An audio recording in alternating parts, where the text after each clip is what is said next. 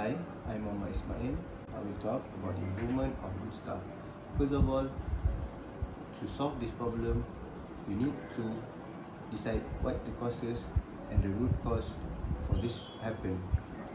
To encourage their performance and to lose this kind of behavior, they should be sent to some seminar or some workshop so they can improve themselves and their soft skill. Next, this kind of behavior is because of the lack of involvement in the organization.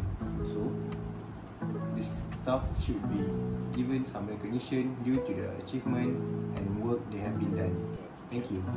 So hi, my name is Muhammad Fizuddin Memizan. So I'm gonna explain about how to improve the lecturers' improvement. Okay, so first is that uh, Masa need to give a bonus to the lecturer as going it's gonna make it as a token for the appreciation for the lecturer because they need to feel appreciate for their work.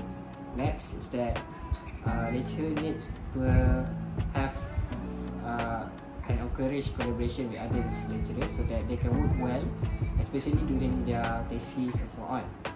Okay, moreover, uh, lecturer also is human, so they also have stress. So masa employee need to recognize the stress level that the lecturer have, so that uh, the lecturers when they are teaching for the student, they will not have any stress during their lecture. And then lastly is that uh, masa need to give uh, lecturer some uh, break so that they can have a break time, they can have a me time to release all of their stress. So that's all. Thank you. Hi, Assalamualaikum. My name is Ali Bahan. Uh, today I will explain about improvement uh, towards facilities.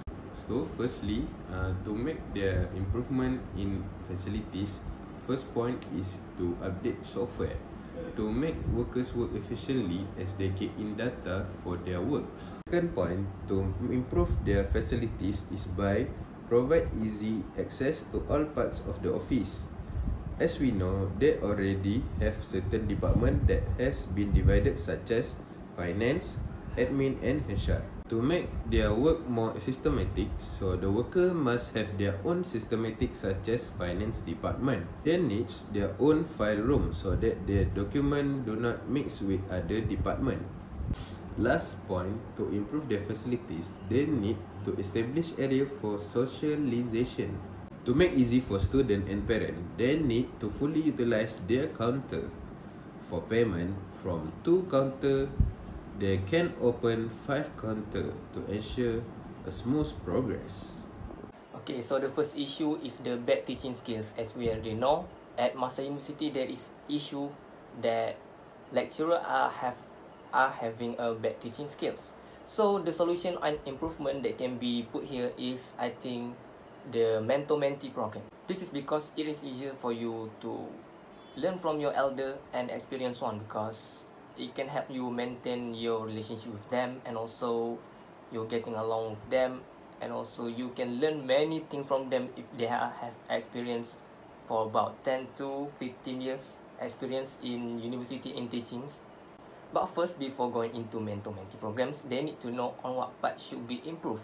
So they need to re-evaluate themselves or although they can use the students to fill up the evaluation form so they can know on what part should be improved. This issue is hidden face or cause. So, for the improvement, they make connection with just one supplier.